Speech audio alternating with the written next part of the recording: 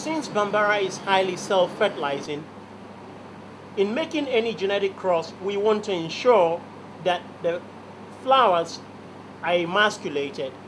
That is by taking out these sets of 10 stamen that carries the pollen in Bambara groundnut.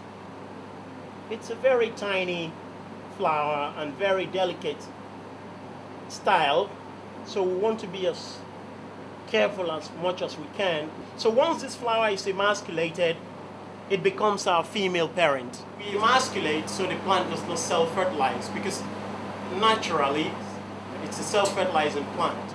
So we look for an ideal male parent which will be um, a plant whose flowers are just opening. Generally, making crosses in Bambara groundnut has been considered very, very difficult. The main reason being the tiny nature of the flowers. The flowers are very small, very tiny, so you will need a headband magnifying glasses, like this one I have now, pair of tweezers and scissors to make genetic crosses. With these, it magnifies the flowers. I can clearly see the stigma and know where my pollen landed because you want to make sure the pollen is falling directly on the stigma, the very tiny stigma. That's when and only when the cross can be successful.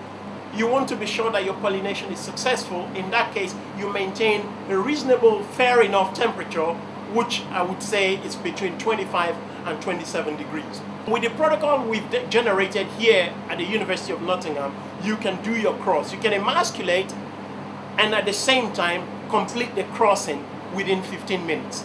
And on doing that, the success rate we've seen here is as high as 8 to 10%. At the moment, it's an equatorial plant, means it grows within the confines of 12 to 13 hours of day length. So if we can develop materials from this research that can be distributed to farmers in different parts of the world, that is a direct way of making sense, is a way of contributing to the resource poor farmers who are the ultimate end users of research findings. So it's a direct way of making sense out of science.